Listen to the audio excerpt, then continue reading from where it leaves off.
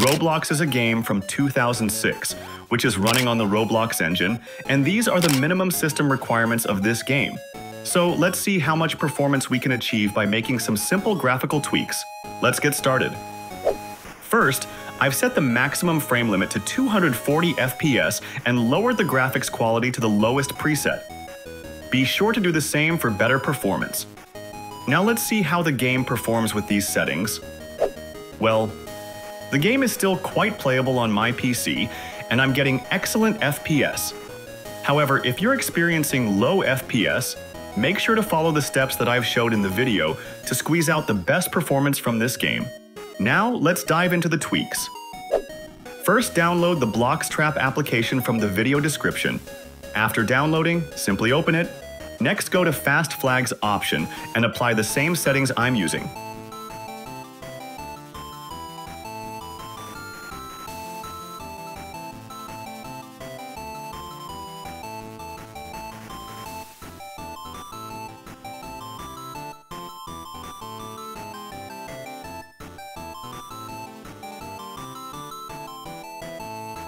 Once done, click Install.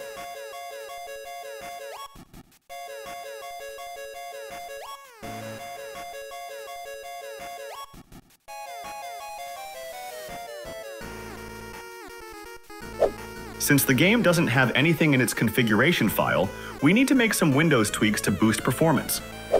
First delete the Windows cache files. Don't worry. Deleting these files won't harm your system, they're just trash and cache files.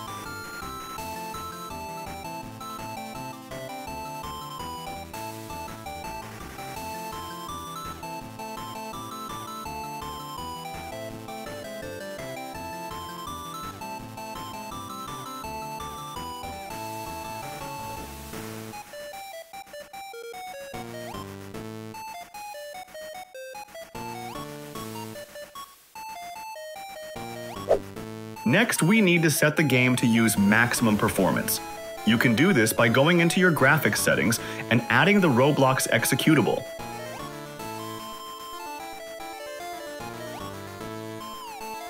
After adding it, set the properties to high performance.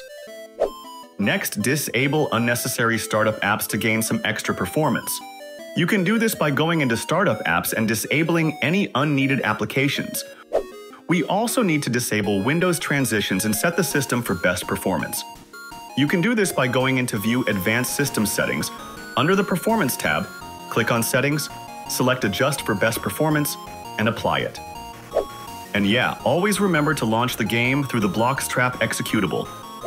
Finally, close any unnecessary background apps using the Task Manager, and make sure to set the game's priority to high every time you play. Now let's check how the game performs.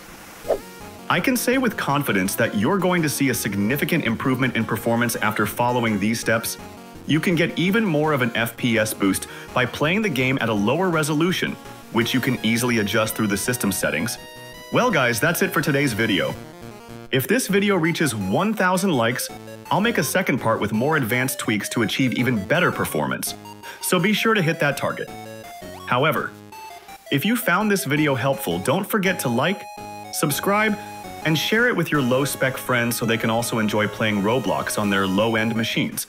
And I'll see you all in the next video, so until then, take care and bye.